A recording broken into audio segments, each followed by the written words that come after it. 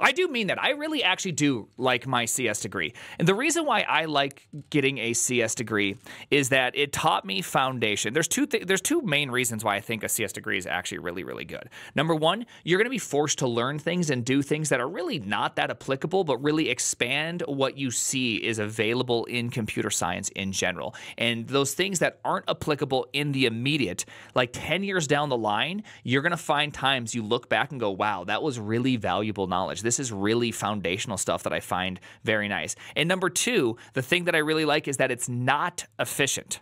It gives you four years to get to the point of being a good programmer. And I think that's extremely important because so many people want the six month path to success.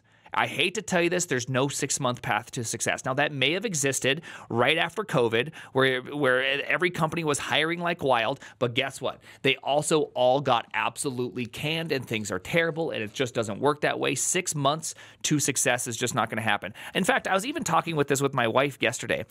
There's right now, there's a huge deficit in trade workers. Trade workers right now are getting paid somewhere between 50 to $100 an hour for tearing out carpet, for things that don't require a ton of skills and then carpentry gets paid even more and even more.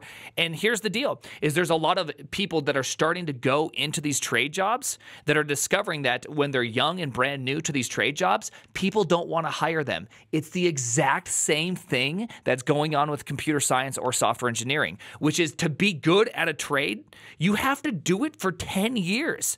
And it's not like that thing is it's not like a trade is complicated in the same sense of, of software engineering, but to be good at your craft takes a long ass time, and you should expect nothing less of something that has a huge mental requirement to get into.